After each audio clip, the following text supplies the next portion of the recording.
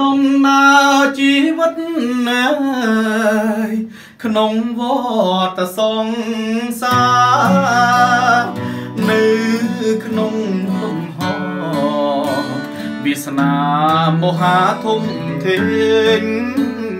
បទចម្រៀងដែលច្រៀងរៀបរាប់ពីការខំប្រឹងរបស់ឪពុកដើម្បីរកស៊ីចិញ្ចឹមកូនរបស់លោកចែមសំអូនមានអត្ថន័យពិតជាកំសត់ចង់ស្រក់ទឹកភ្នែក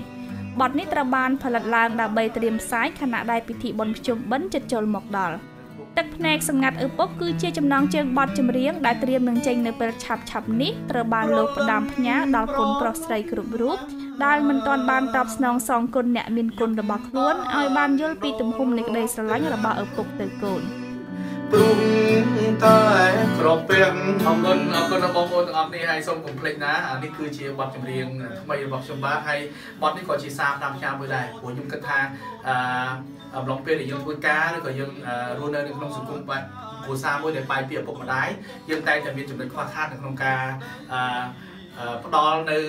ថវិកាឬក៏ផ្ដល់នៅការស្រឡាញ់ជូនដល់លោកឪពុកអ្នកម្ដាយរបស់យើងហើយឥឡូវនេះឱកាសនៃពិធីប្រជុំបិណ្ឌរបស់យើងក៏ជិតនឹងចូលមកដល់ហើយបទចម្រៀងនេះគ្រាន់តែជាចំណុចកន្លឹះមួយចង់ឲ្យបងប្អូនទាំងអស់គ្នាផ្ដល់នៅការស្រឡាញ់ជូនដល់លោកឪពុកឲ្យបានច្រើនព្រោះពេលខ្លះ ទឹកភ្នែករបស់គាត់ដែលគាត់ស្រក់មកគាត់មិនដែលឲ្យពួកយើងឃើញថាគាត់លំបាកមកទេប៉ុន្តែរយៈពេលដែលយើងពីទឹកតាំងពីតូចរហូតដល់ធំគឺស្នាមនិយមរបស់គាត់គឺតែគាត់តែតែផ្ដល់ឲ្យកូនជានិច្ចប៉ុន្តែតម្លៃទឹកភ្នែករបស់គាត់គឺនៅតែជាទឹកភ្នែកសម្ងាត់ដែលកូនកូនទាំងអស់គ្នាមិនដែល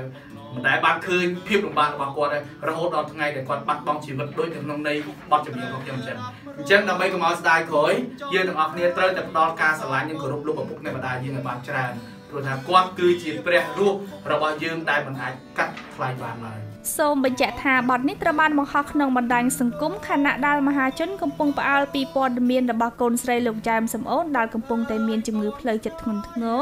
បន្ទាប់ពីលោកបែកបាក់ពីប្រពន្ធដែលធ្វើឲ្យកូនស្រីរបស់លោកសម្រាកនៅមន្ទីរពេទ្យតើអ្នកយល់ថាបទចម្រៀងនេះចង់បង្ហាញពីទំហំក្តីស្រឡាញ់របស់លោកទៅកាន់កូនស្រីឬយ៉ាងណាព្រោះតែក្នុងដួងចិត្ត